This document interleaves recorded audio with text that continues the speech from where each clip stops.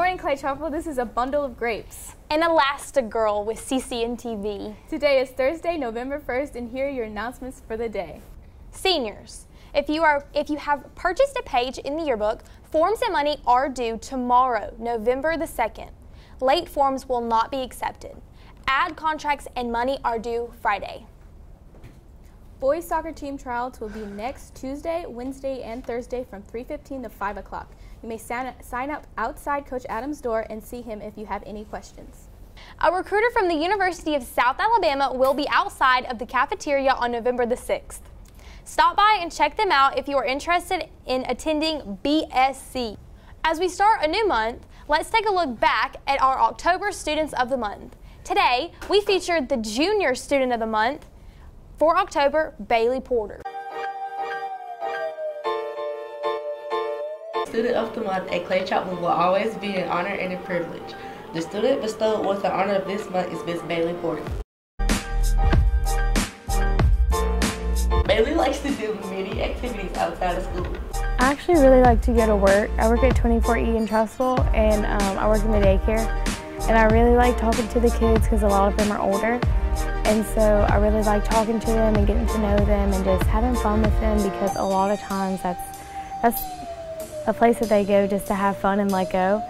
I think it's really cool talking to them and getting to know them and um, inspiring some of them because I feel like I have an influence on some of them.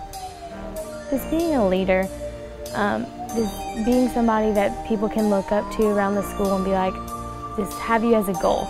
People can look up to you because you're in many organizations you're involved in a lot of stuff and they just look at you and, and you're a motivator for them.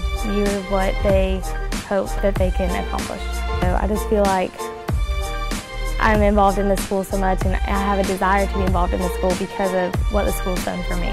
It's just done a lot of good to me. Um, I'm in all advanced classes and all my teachers, I love them all. They've all helped me to accomplish the goals that I've accomplished academically and um, a lot of my teachers really care about me and I love our administrators. So just looking at my future. Some people may say I look at it a little too much, but I'm always looking ahead, seeing why would I do this if it doesn't benefit me in the long run. So I just that's how I stay inspired. That's how I stay motivated. Is because if I don't do this, then you know my future is not going to have the outcome that I want it to have. So I'm just saying, think big picture and and do everything like it counts.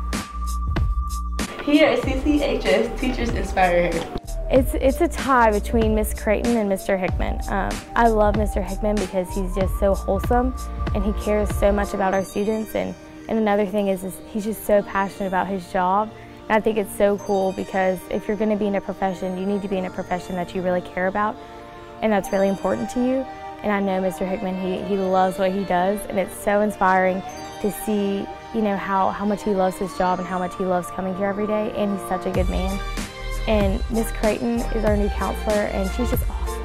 She cares so much about us. She is so sweet, and um, personally, she's helped me a lot spiritually um, on my journey with God. She's, she's so sweet, and she's so wholesome, and she, she cares a lot about the students here.